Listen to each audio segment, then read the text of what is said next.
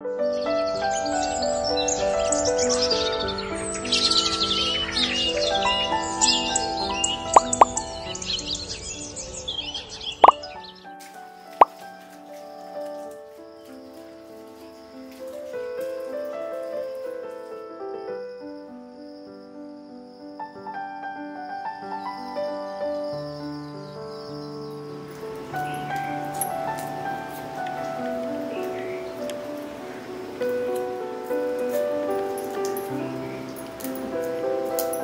Hi friends எல்லாருக்கும் காலை வணக்கம். இன்னைக்கு வெள்ளிக்கிழமை.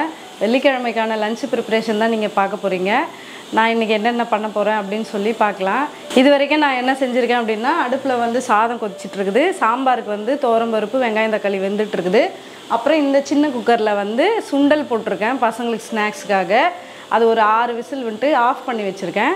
இங்கே வந்து வெங்காயம் தக்காளி அப்புறம் வெண்டைக்காய் வந்து சாம்பார் வைக்க போகிறேன் வெண்டைக்காயில் வந்து புளிக்குழம்பு வைக்க போகிறேன் அதை காய் மொத்தமாக எடுத்து வச்சுருக்கேன். இன்னும் கட் பண்ணல.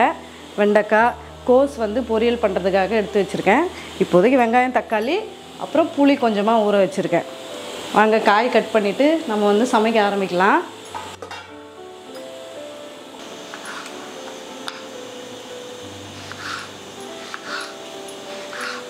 சாம்பாருக்கும் புளிக்குழம்புக்கும் சேர்க்க போகிறதுனால வெண்டைக்காய் வந்து இந்த மாதிரி பெரிய பீஸாக தான் போட போகிறேன்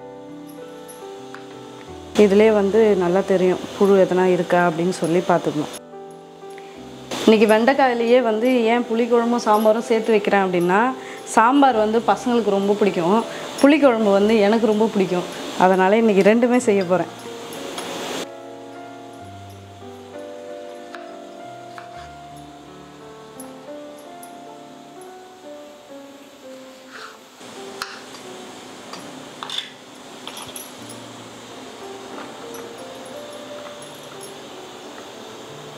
நல்லா ஃப்ரெஷ்ஷான வெண்டைக்காய் தான். புழுலாம் இருக்க சான்ஸ் இல்லை. இங்கே வெளியில் கிடச்சதா? ம் நம்ம பால்காரவங்களுக்கு கொடுத்துட்டு போனாங்க. அவங்க கழனியில் போட்டாங்களாம் நாளைக்கு பச்சை மிளகாலாம் எடுத்துன்னு வர சொல்லியிருக்கிறேன் நம்மள்ட்ட கருவேப்பிலை எல்லாமே கிடைக்கும். எல்லாமே போட்டிருக்காங்க.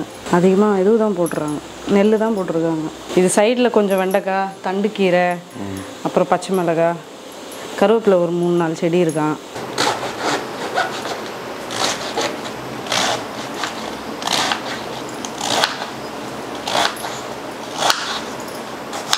இப்போ வந்து கோஸ் கட் பண்ணுறேன் பொரியல் வைக்க போகிறேன் இன்றைக்கி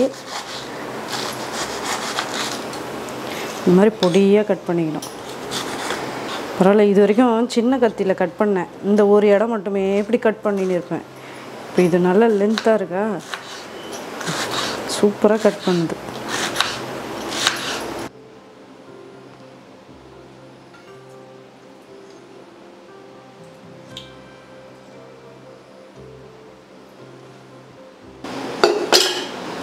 இப்போ வந்து சமையல் செய்ய ஆரம்பிச்சிட்டேன். மூணு பாத்திரமும் வச்சுருக்கேன்.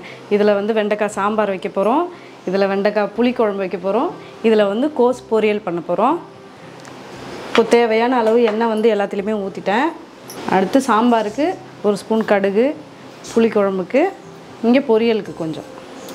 கடுகு சேர்த்தாச்சு. இப்போ வந்து சீரகம் சேர்க்கலாம். சாம்பாருக்கு புளிக்குழம்புக்கு பொரியலுக்கு. சீரகம்லாம் பொரிஞ்சிருச்சு. சாம்பாருக்கு கருவேப்பிலை சின்ன வெங்காயம் தோலோட பூண்டு நசுக்கி வச்சுருக்கேன். கொஞ்சம் தக்காளி. இது எல்லாத்தையும் சேர்த்துக்கிறேன். புளி குழம்புக்கும் பூண்டு வந்து தோலை உரித்து வச்சுருக்கேன். சின்ன வெங்காயம் கருவேப்பிலை தக்காளி. இது எல்லாத்தையும் சேர்த்துக்கிறேன். கோஸ் பொரியலுக்கு வந்து ரெண்டு ஸ்பூன் கடலப்பருப்பு சேர்த்துக்கலாம். ஒரு ஸ்பூனுக்கு உளுத்தம்பருப்பு சேர்த்துக்கலாம். அப்புறம் கருவேப்பிலையும் ஒரு பெரிய வெங்காயம் கட் பண்ணி வச்சுருக்கேன். இது சேர்த்துக்கிறேன். வெங்காயமும் தக்காளியும் நல்லா வதங்கிருச்சு. இப்போ வந்து வெண்டைக்காய் சேர்த்துக்கிறேன். புளி குழம்புக்கும் வெங்காயம் தக்காளி வதங்கிருச்சு. நான் வெண்டைக்காய் சேர்த்துக்கிறேன் இதுலேயும். இப்போ வெண்டைக்காய் வந்து இதில் எண்ணெயிலே நல்லா வதக்கிக்கணும். வெங்காயம் நல்லா வதங்கினதுக்கு பிறகு நம்ம வந்து கட் பண்ணி வச்சுருக்கிற கோஸ் சேர்த்துக்கலாம். அவ்வளோதான் கோஸை சேர்த்து நல்லா எண்ணெயிலே மிக்ஸ் பண்ணிவிட்டு மூடி போட்டு ஒரு ரெண்டு நிமிஷம் அப்படியே விட்டுடணும் கோஸ் வந்து சிம்லேயே வெந்துடும்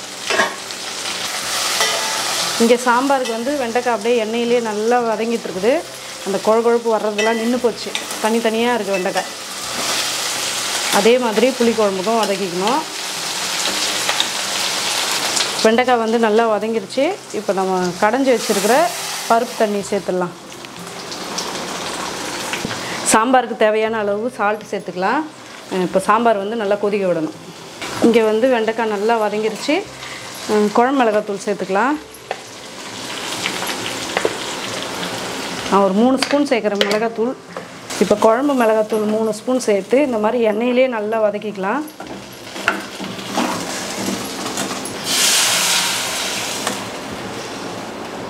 இப்போ வந்து கொஞ்சமாக தண்ணி சேர்க்குறேன். நம்ம வந்து புளி தண்ணியும் சேர்க்க போகிறோமா அதனால் இப்போ வந்து கொஞ்சமாக சேர்த்தா போதும். அவ்வளோதான் இப்போ லாஸ்ட்டாக குழம்புக்கு தேவையான அளவு கல் உப்பு சேர்த்துறேன். இப்போ குழம்பு வந்து ஒரு பத்து நிமிஷமாவது கொதிக்கணும். எண்ணெய்லாம் வந்து சைடில் நல்லா பிரிஞ்சு வர அளவுக்கு கொதிக்க விட்டால் போதும். இப்போ கோஸ் ஓப்பன் பண்ணி பார்க்கலாம். நல்லா எண்ணெயிலே வதங்கிருச்சு பாருங்களேன். அப்படியே கண்ணாடி மாதிரி தெரியுது கோஸ் காரத்துக்கு வந்து பச்சை மிளகா வந்து சேர்த்துக்கோங்க. நான் இன்றைக்கி பச்சை மிளகாவே சேர்க்கல. பசங்களுக்கு கொடுத்து அனுப்புறதுனால பச்சை மிளகாவை போடாமல் வச்சு செய்கிறேன் கோஸ் வந்து நல்லா வெந்துருச்சு. இப்போ வந்து சால்ட் சேர்த்துக்கலாம். இப்போ சால்ட் வந்து மிக்ஸ் பண்ணியாச்சு. நம்ம துருவி வச்சுருக்க தேங்காய் சேர்த்துக்கலாம். தேங்காய் சேர்த்து இது மாதிரி நல்லா மிக்ஸ் பண்ணிடலாம். அவ்வளோதான் நம்மளோட கோஸ் பொரியல் வந்து ரெடி ஆயிடுச்சு.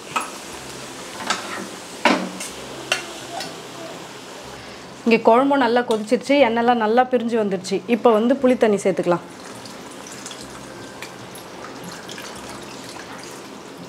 புளி தண்ணி சேர்த்துட்டு ஒரு அஞ்சு நிமிஷமாவது இதே மாதிரி சிம்மில் கொதிக்க விடணும். அதுவும் தனியாக எண்ணெய் வந்து பிரிஞ்சு வர அளவுக்கு கொதிக்க விடணும். இப்போ சாம்பாரும் நல்லா கொதிச்சிட்ருக்குது. இதில் வந்து லைட்டாக புளி தண்ணி சேர்த்துக்கலாம். கூடவே பெருங்காயத்தூள் கொஞ்சம் சேர்த்துக்கலாம். சேர்த்துட்டு இதையும் ஒரு அஞ்சு நிமிஷம் நல்லா கொதிக்க விடணும். இப்போ வந்து சுண்டல் தாளிக்க போகிறேன் அதுக்கு வந்து கொஞ்சமாக எண்ணெய் சேர்த்துக்கிறேன். எண்ணெய் காஞ்சது பிறகு ஒரு ஸ்பூன் கடுகு சேர்த்துக்கலாம்.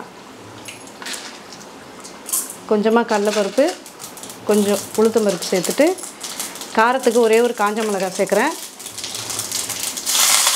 கருவேப்பிலை கொஞ்சம் பெருங்காயத்தூள் கொஞ்சம் சேர்த்துக்கலாம். இது வந்து இந்த சுண்டல்லே சேர்த்துலாம்.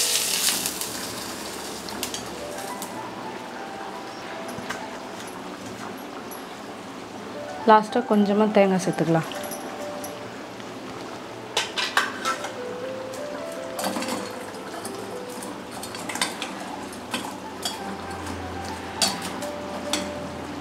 அவ்வளோதான். நம்மளோட ஸ்நாக்ஸுக்கு வந்து சுண்டல் வந்து ரெடி ஆயிடுச்சு.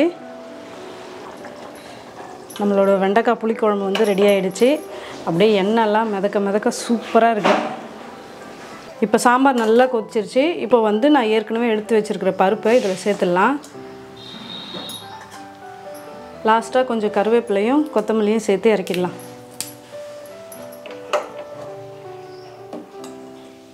அவ்வளோதான் நம்மளோட வெண்டைக்காய் சாம்பார் வந்து ரெடி ஆயிடுச்சு. ஓகே ஃப்ரெண்ட்ஸ் இன்றைக்கான லஞ்ச் மெனு எல்லாமே முடிஞ்சிச்சு. நான் என்னென்ன செஞ்சுருக்கேன்னு பார்க்கலாமா? சூடாக சாதம் வெண்டைக்காய் சாம்பார் கோஸ் பொரியல் ஒரு ஸ்நாக்ஸுக்கு கருப்பு முக்கடலை சுண்டல் பண்ணியிருக்கேன்.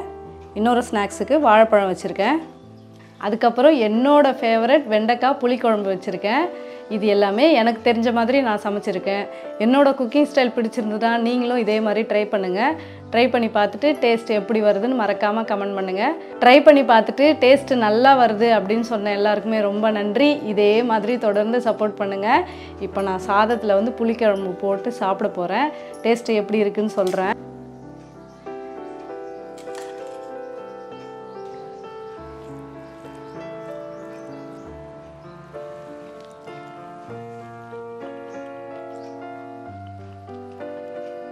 டேஸ்ட்டு சூப்பராக இருக்குது இந்த மாதிரி முழு பூண்டு கொஞ்சம் சாதம் ஒரு வெண்டைக்காய் வச்சு